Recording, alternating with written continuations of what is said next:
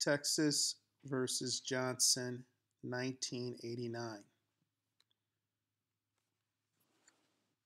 In 1984, in front of the Dallas City Hall, Gregory Lee Johnson burned an American flag as a means of protest against Reagan administration policies. Johnson was tried and convicted under a Texas law outlawing flag desecration.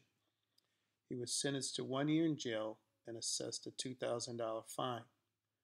After the Texas Court of Criminal Appeals reversed the conviction, the case went to the U.S. Supreme Court.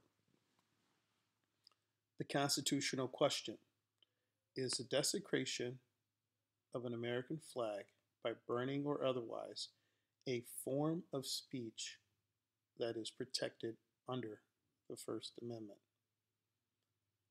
In a 5 4 decision in favor of Johnson, the court held that Johnson's burning of a flag was protected expression under the First Amendment.